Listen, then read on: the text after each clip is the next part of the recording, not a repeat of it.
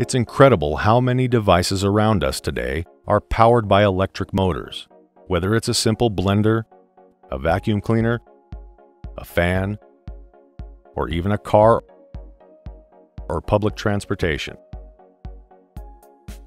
JAES, in its catalog, offers a wide range of electric motors from different manufacturers.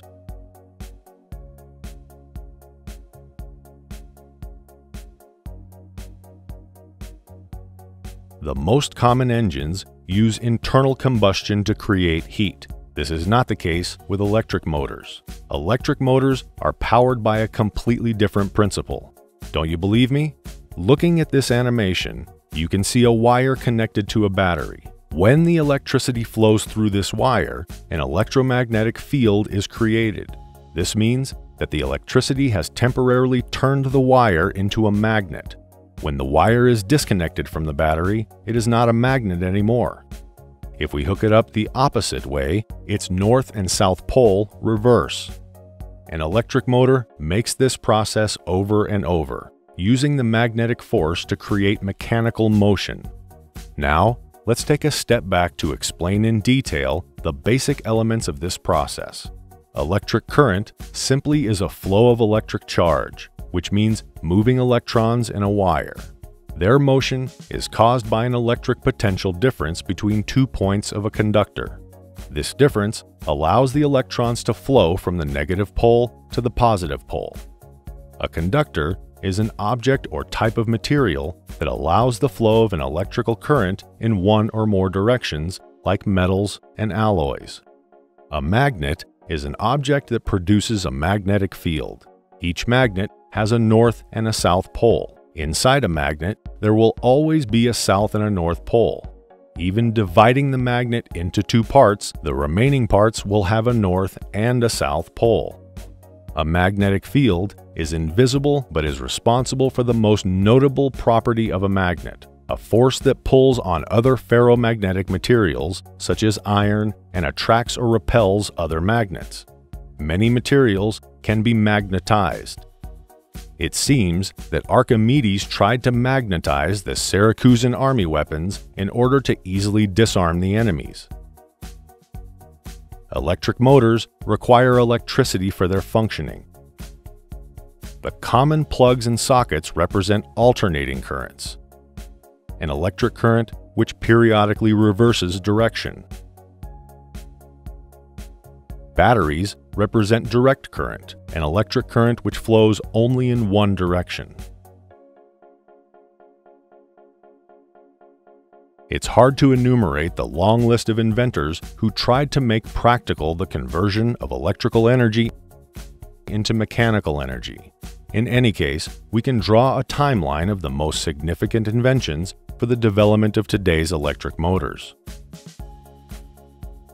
In 1800, for the first time, Italian Alessandro Volta produces a continuous electrical power from a stack of silver and zinc plates.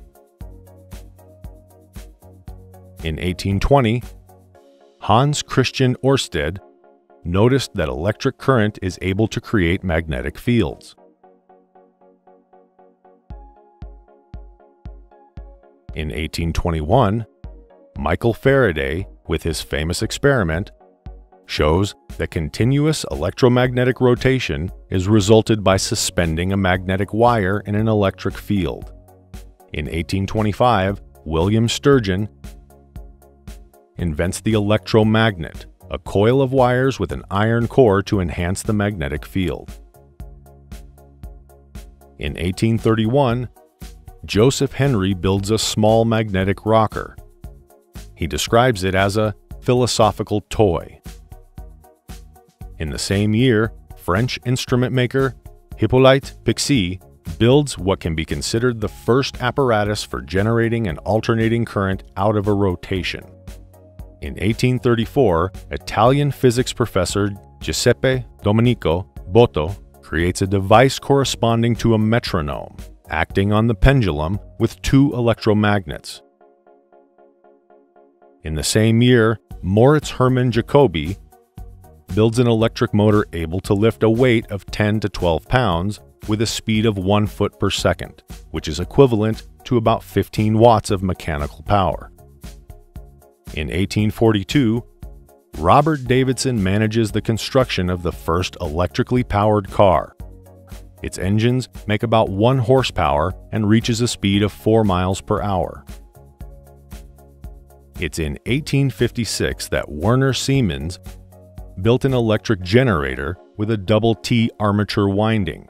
He's the first one to place a winding into slots. This invention marks a turning point in the design of electrical machines. Today, almost all electrical motors are built with windings in slots. In 1885, Galileo Ferraris builds the first induction motor.